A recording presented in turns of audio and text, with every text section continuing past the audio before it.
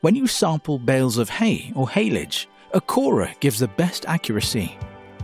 Use a hand grab method if you do not have a corer. Take handfuls from different parts of the center of each hay or haylage bale. Do not use the edge of the bale. Ideally, you need at least 6 to 10 different bales for the best results.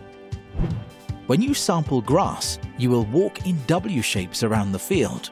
Take a sample at each point of the W. You need the grass to be at least 2 centimeters long. Take your sample when the grass is dry. Collect samples in a large, clean plastic bag. A large sample will make the analysis more accurate. Cut the hay or grass sample into smaller pieces and mix well. Remember to use stainless steel scissors so you don't contaminate the sample.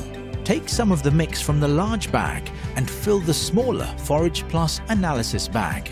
If you use your own sample bag, fill a clean A5 envelope-sized plastic bag. Label the sample with your name, your order number and the sample type.